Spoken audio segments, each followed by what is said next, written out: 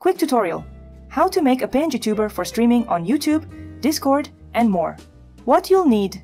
Two images of your character, mouth open and mouth closed. OBS Studio, a Discord account.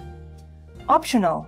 You can use GIFs with more animations, but the basic setup is just two images with a transparent background or a solid color for chroma key. Step 1. Set up your model in Fugi Reactive. Go to reactive.fugi.tech and log in with your Discord account. Add a new model and upload your two images, mouth open and closed. Optional, you can also add images for when you are muted or deafened on Discord. Step 2. Test it in Discord. Join a voice call on any server, a private one works fine for testing.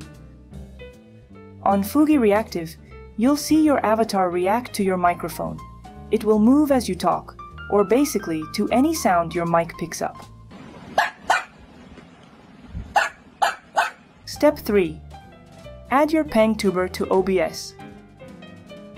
Open OBS and create a new scene.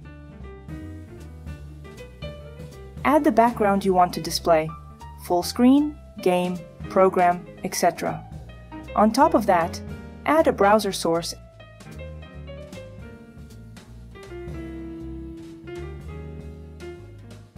and paste the link to your avatar from Fugi Reactive. Adjust the size and position. Make sure that OBS microphone is enabled. Discord is using the correct audio device.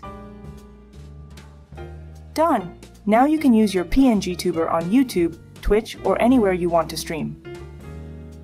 Oh my god, this game is so Optional. Use your PNG tuber directly in Discord. In OBS, activate the virtual camera. In Discord, while in a call, select Share Screen. Capture Devices. Virtual Camera. That's it! Your PNG tuber will show up in the call. Hope this tutorial helps. If you have any questions, feel free to drop them in the comments. See ya!